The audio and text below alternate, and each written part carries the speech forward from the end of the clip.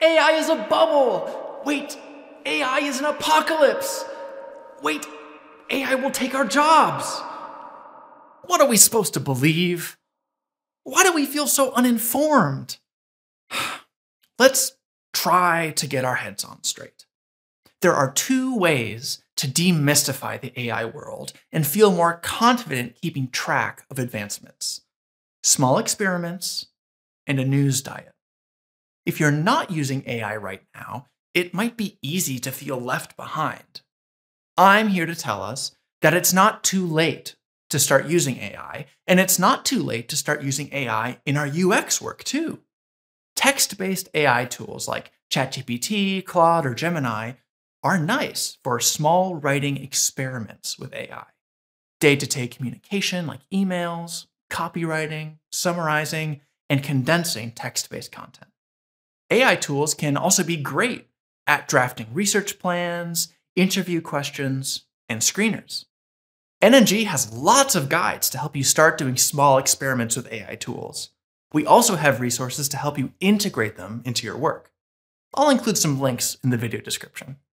We don't have time to read academic articles on the latest AI models, so I recommend a balanced news diet to help you consume information that will keep you from being surprised when the next huge AI innovation comes along.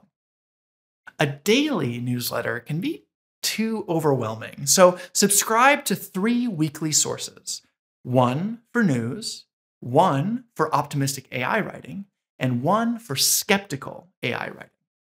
I'll include some of my favorites in the video description. Whatever that means to you, maintaining a diverse but focused news diet can help you feel more confident and informed. I don't know about you, but it's easy to feel bombarded by AI news, AI hype, and AI doomerism. But the truth is, AI is still early. AI is still young. We have no idea whether it will continue to improve beyond our wildest dreams, or plateau and remain where it is today, or drop off a cliff. It's a noisy world out there, and there's plenty of opportunity to catch up. Thanks for watching.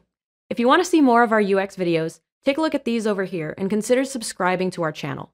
On our website, nngroup.com, you can access our free library of over 2,000 UX articles.